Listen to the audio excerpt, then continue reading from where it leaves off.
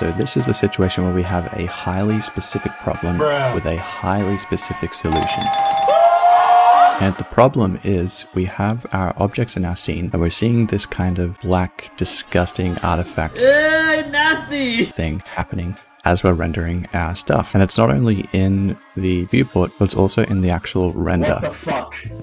What the fuck? Is this? That is not funny. And that's gross. How like how do we fix that? Well, you could manually mask this out in the compositor tab and do a bunch of frame by frame masking, or you could jump into like DaVinci Resolve and fix it that way, which is painstaking and super super time consuming. Or you could just fix it by using a specific function or setting in Blender